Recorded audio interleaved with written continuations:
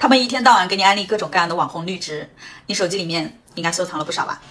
但是到底适不适合你家呢？你知道吗？啊，不同的风格怎么选绿植？我用一分钟给你说清楚。原创观点啊，不看完是你的损失。核心就两个字：造型。市场上啊有四类人群喜好，你看看自己到底是哪一种？一浪漫型，真的是要笑死我，一看这就是乱选的啊！像法式、中古、奶油啊这类偏偏女性化的风格啊，去选择圆形叶子，像尤加利树啊、鸭脚木啊，叶子越圆越柔和。小叶子呢是小女人的美，娇巧美；大叶子呢是大女主的美，气质美。大叶子啊，你就选择黑金刚橡皮树、高山榕、黄金榕、爱心榕。还有一个你想不到啊，兰花楹也可以选。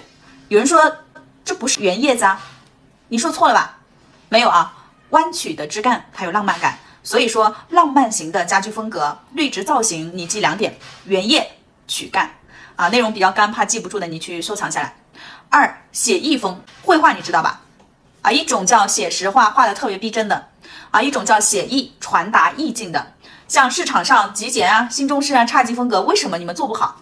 光绿植这块你就选错了，氛围都搞不对。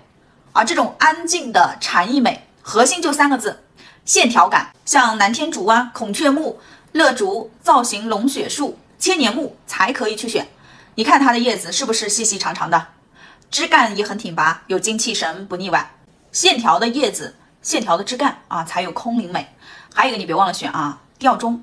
虽然说吊钟它的叶子不是线条感的，但是因为叶子小，所以可以忽略不计。这种蜿蜒曲折的枝干啊，很符合我们东方人的审美。三自然风，自然风选绿植就是要夸张啊，像琴叶榕、龟背竹、春雨、真葵、蒲葵啊，都是各具特色的绿植，适合自然风。自然感觉的原木风和北欧风格有个问题啊，在色彩上面是不是都比较浅啊？我们老是担心这种风格没什么质感，对吧？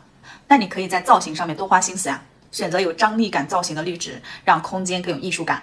除了以上说的几款啊，还有像百合竹啊、绿天鹅绒海芋呀、鳟鱼秋海棠、白犀牛海芋啊，都属于特别吸睛的绿植，适合原木北欧风格。四轻奢风，想要做出气场来，我推荐两种绿植啊，天堂鸟和龙血树。天堂鸟叶片宽大高挑，很大气，而龙血树呢，枝干叶片也很利落。整体造型呈现张开的趋势，饱满且有层次。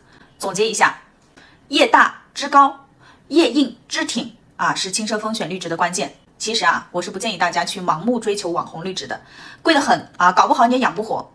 弄懂植物的造型啊，选择合适的去搭配你家的风格，比买什么更重要。你看，你以为发财树很丑是吧？